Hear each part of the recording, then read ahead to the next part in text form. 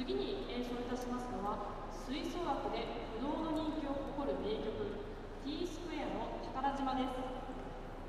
元は人気インストゥルメンタルバンド T スクエアの作品ですが本日演奏する宝島は増間敏夫が吹奏楽にアレンジしたものであまりの人気ぶりに吹奏楽経験者なら宝島といえばこのアレンジを思い浮かべる方も多いのではないでしょうか